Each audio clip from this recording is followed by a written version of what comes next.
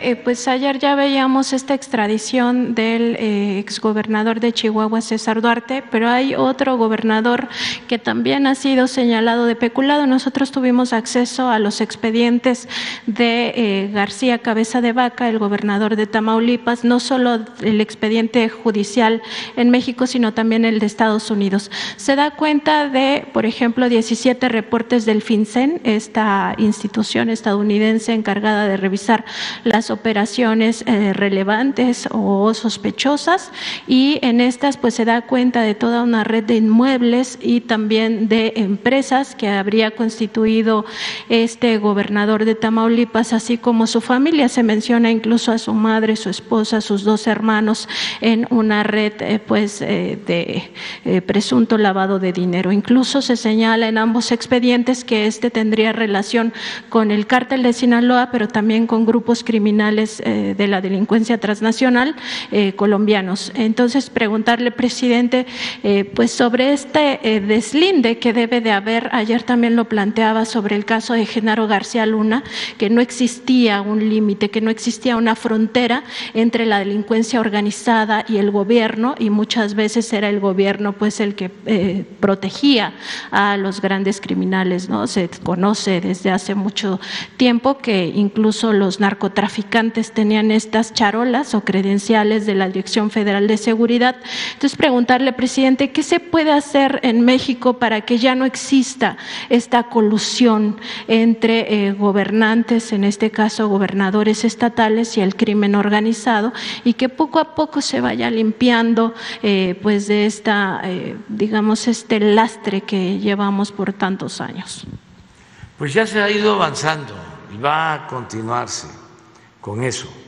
No puedo este, comentar nada con relación a los gobernadores eh, porque estamos en víspera de las elecciones y no eh, debo mm, hacer ningún comentario.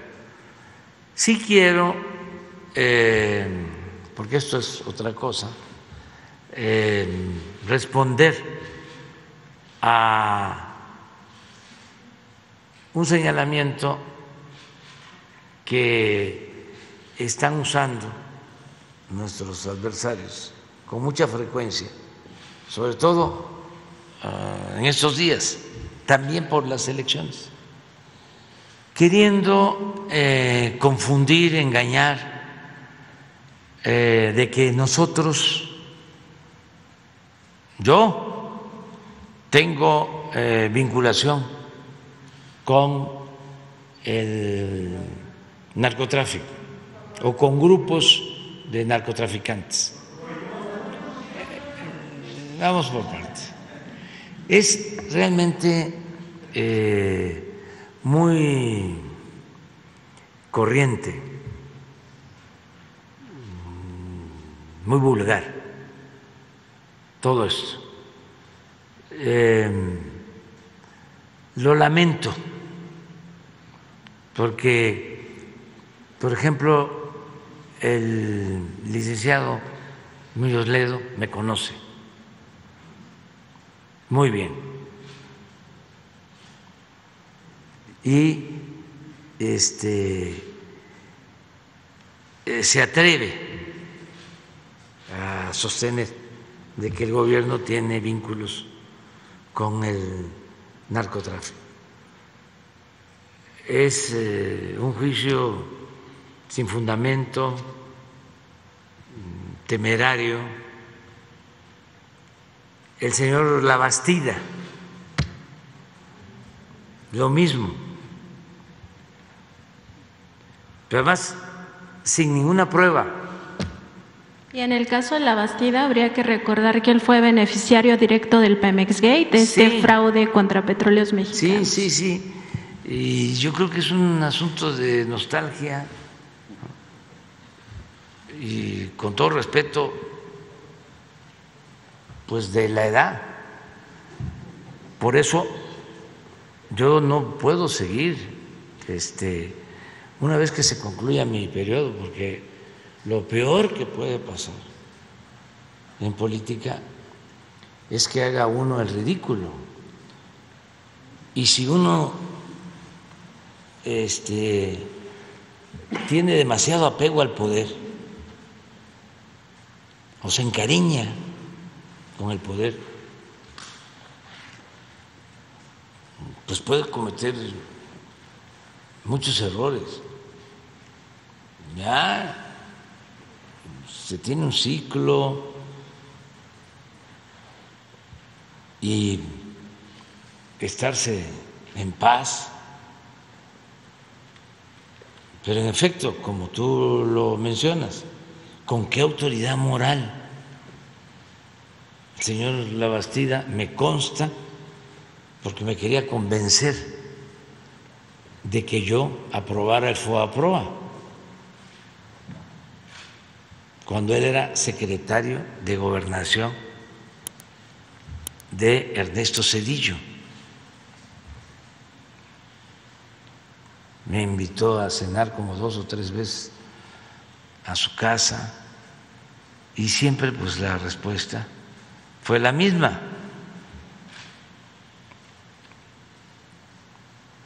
Y emprendí una gira por todo el país y recuerdo que él me advirtió de que corría yo peligro.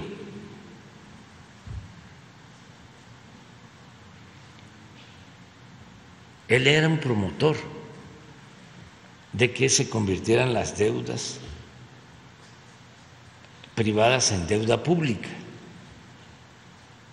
Y luego lo que dices, lo del dinero que recibe en su campaña, que está aprobado, el llamado Pemes Gay. Hasta multaron al PRI por eso. Sí. Entonces, ¿con qué autoridad? Y lo que más eh, pena ajena me produce es lo de Carmen Aristegui.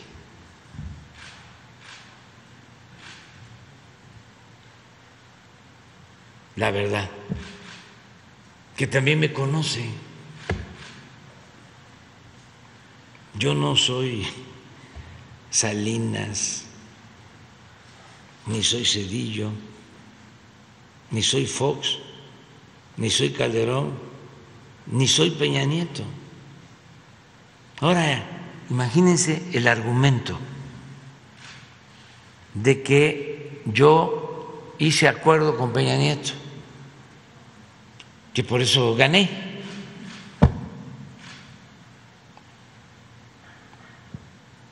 Pues no, yo lo que hice fue agradecerle a Peña Nieto de que no se metió como lo hizo Fox y como lo hizo Calderón y como lo hicieron otros en el fraude. Es decir, no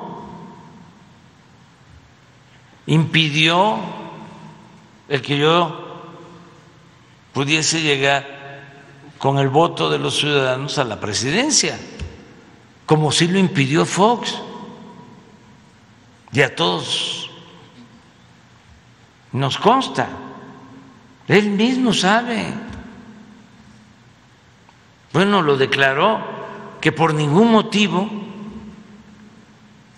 iba yo a ser presidente y desplegó a todo el gobierno federal y echaron a andar una guerra sucia con toda la cúpula empresarial de ese entonces, con todos los medios de información. Y todavía el día de la elección hay constancia, rellenaron las urnas, falsificaron las actas y no quisieron contar los votos. Fue un fraude en el 2006. ¿Qué le reconozco a Peña Nieto? De que lo fueron a ver los mismos que ahora están aglutinados como no se ponían de acuerdo, pues estaban divididos. Y tengo información que lo fueron a ver para convencerlo de que se unieran todos en contra mía, porque yo era un peligro para México. Y lo fueron a ver los traficantes de influencia, porque ni siquiera en sentido estricto son empresarios, los que se sentían dueños de México.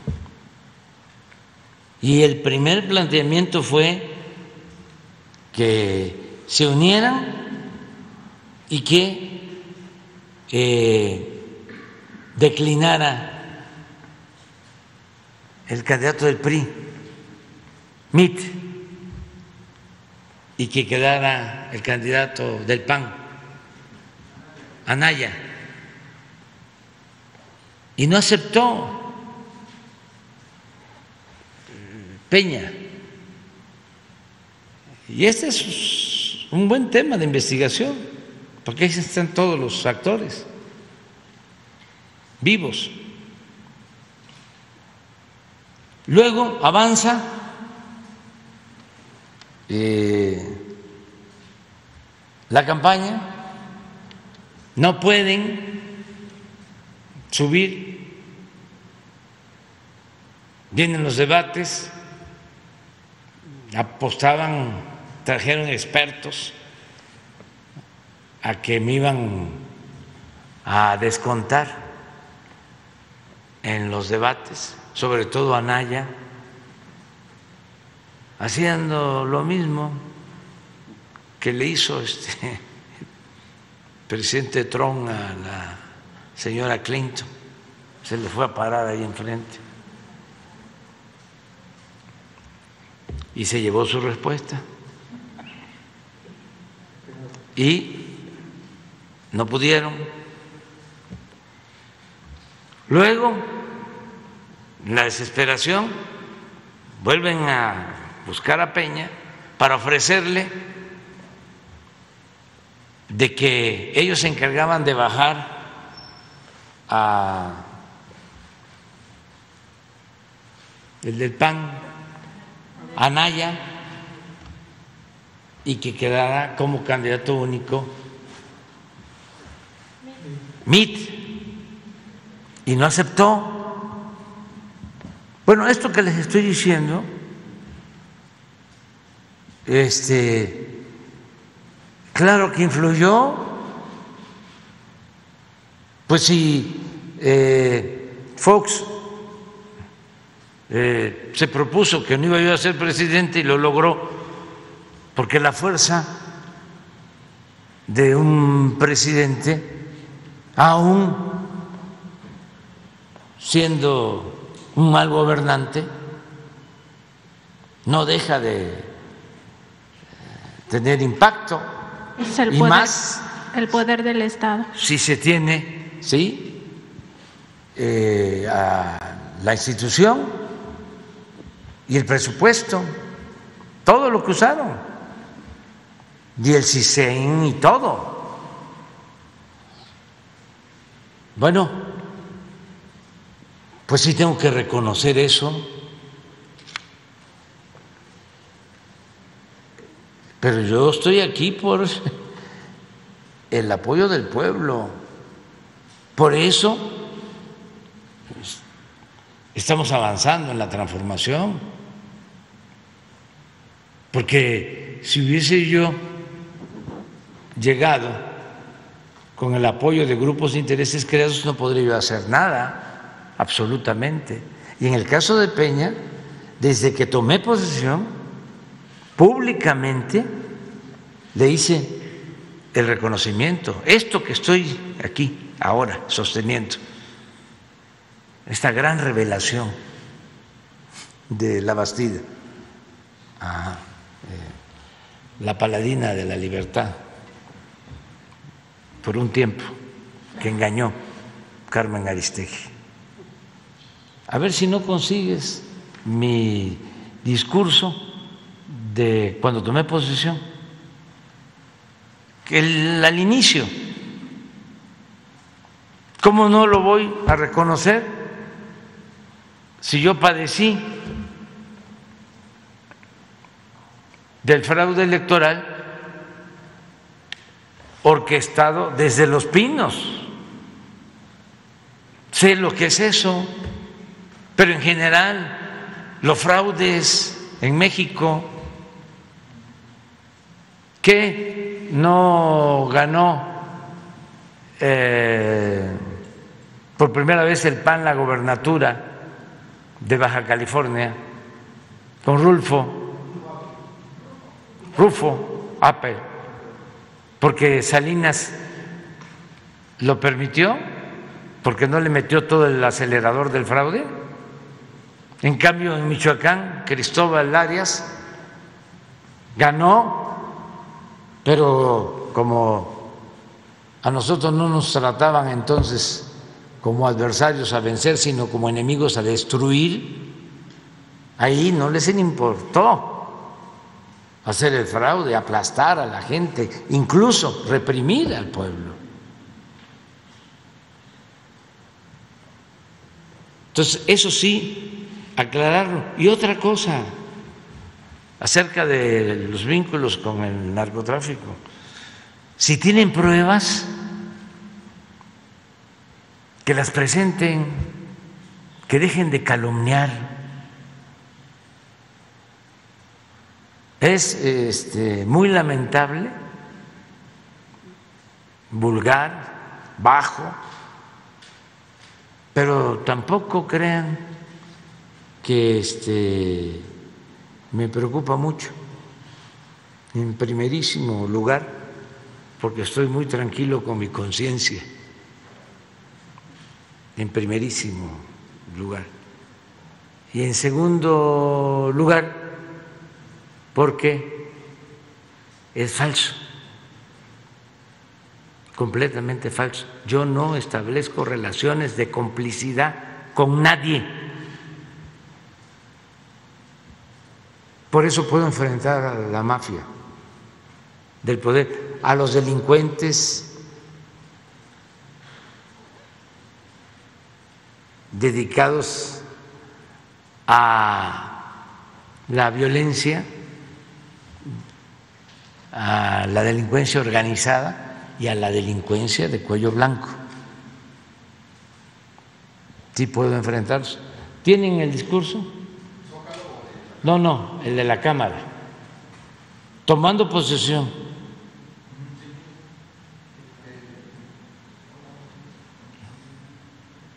Al inicio.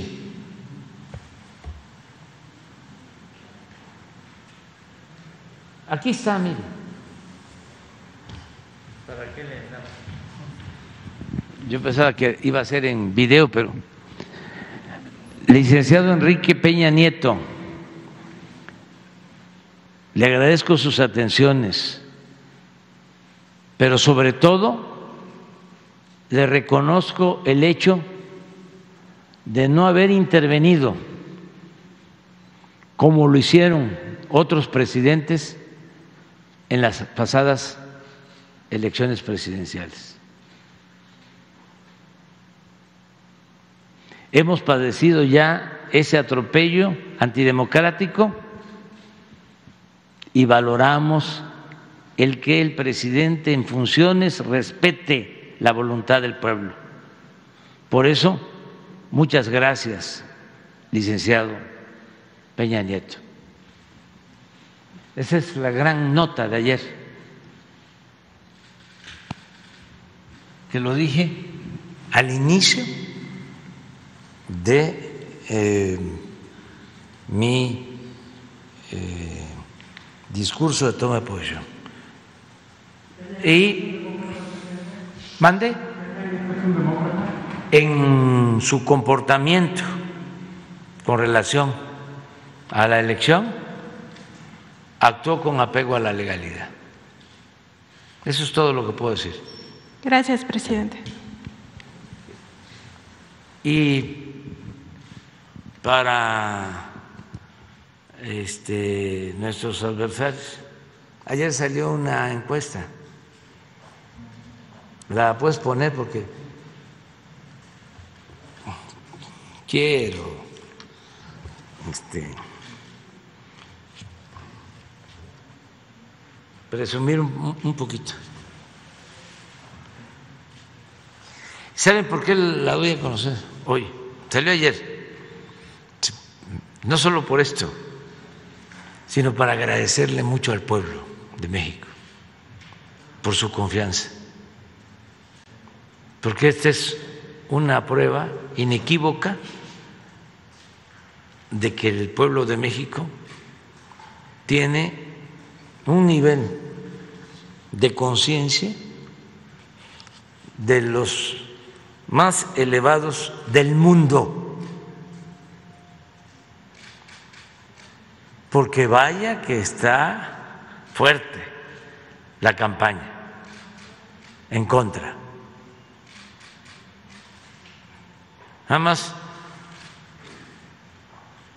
por un instante voy a decir que le mando un abrazo a Petro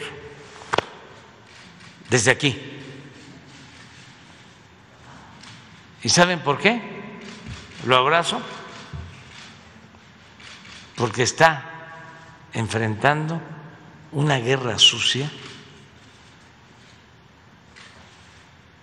de lo más indigno y cobarde.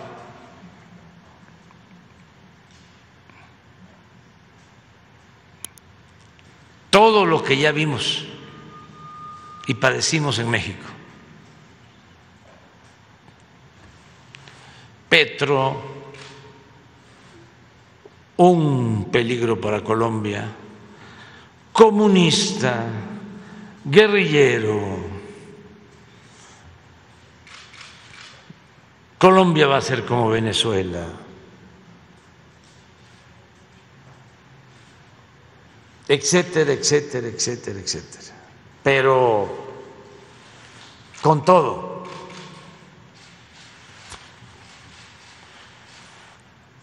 unidos todos los conservadores y sin ética, olvidando que la política es un imperativo ético. Y ya. Lo hago porque si alguien ha padecido, y no exagero, ni me siento víctima de esas guerras sucias, eh, es el que les habla desde hace años. Por eso, ánimo y hay que tenerle mucha fe al pueblo confiar en el pueblo, en la inteligencia del pueblo. No hay más que eso. Decía eh, Miguel Hidalgo y lo repetía Benito Juárez, el pueblo que quiere ser libre, lo será. La mejor medicina frente a la calumnia es la voluntad del pueblo. No hay más y no menospreciar la capacidad de el pueblo para decidir. El pueblo es mayor de edad. Por eso Lincoln decía, al pueblo se le puede engañar una vez, dos veces, pero no se le puede engañar toda la vida. Entonces, y aquí está la prueba.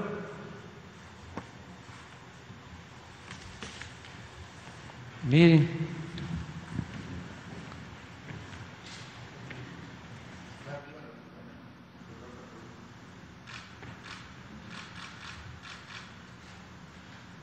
Sesenta y seis de aprobación 25, en contra 9 no contestó. Seguimos estando en segundo lugar porque en primero está este fenómeno, este, me mandó a decir que este,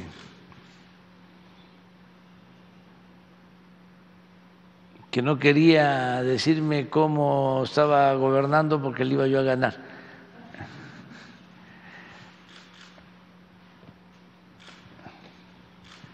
Es el presidente de la India, Modi, 76, 19, 5. Ese es el primer lugar. Pero si ven los demás, este,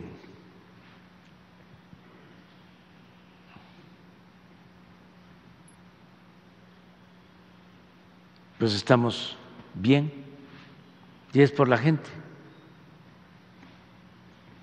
Entonces, por eso este, enseñan el cobre, muestran el cobre, quienes antes pues tenían un poco de sensatez, actuaban con prudencia, están eh, desesperados y enajenados o ofuscados este, por el coraje.